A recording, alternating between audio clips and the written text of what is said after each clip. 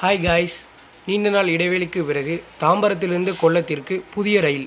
இந்த ரயில் தாம்பரத்திலிருந்து மாலை ஐந்து முப்பது மணி அளவில் புறப்பட்டு விழுப்புரம் திருச்சிராப்பள்ளி மதுரை தென்காசி செங்கோட்டை புனலூர் முதலிய வழிகளில் சென்று மறுநாள் காலை பத்து முப்பது மணி அளவில் கொல்லம் சென்றடையும்.